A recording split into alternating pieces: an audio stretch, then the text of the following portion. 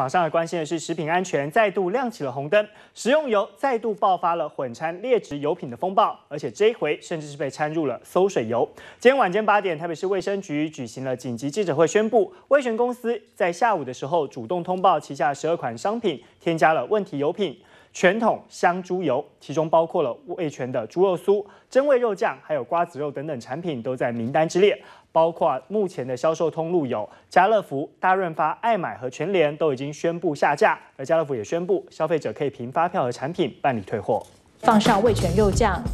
口味重的人可以放多一点，轻松好料理的肉酱或是瓜子肉、猪肉酥，这些都是一般民众相当熟悉的味全商品。现在却爆出有十二项味全产品都使用了全桶香猪油。下午呢，也接获了味全公司主动通报哦。他在今年的四月份开始呢，使用了全桶的香猪油，那用了十五点六吨制成了魏小宝纯肉酥等十二款的产品。那它的通路呢，包括超市、卖场、农会等等。那因为威全公司已经主动回收这样的一个产品，那卫生局后续呢也会派员做持续的监督跟所有的下架的一个作业。威全在晚间发出声明，使用全桶香猪油的问题产品，包括魏小宝纯猪肉酥、魏小宝海苔猪肉酥、味全。猪肉酥、味全海苔猪肉酥、味小宝极品上臀纯肉酥、味小宝极品上臀纯肉酥海苔口味、味小宝甄选纯肉松礼盒、味全辣味肉酱、味全真味肉酱、味全瓜子肉。